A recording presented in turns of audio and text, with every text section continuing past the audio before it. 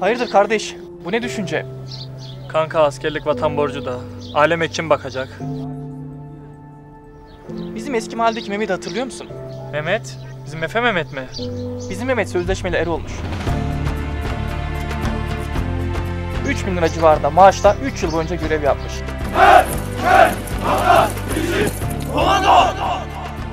Sonra ikramiyesiyle birlikte terhis olmuş.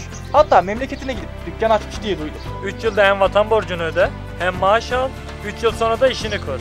Nasıl başvuracağız? Abi Kara Kuvvetleri Komutanlığı'nın internet sitesine giriyorsun, gerisi kolay.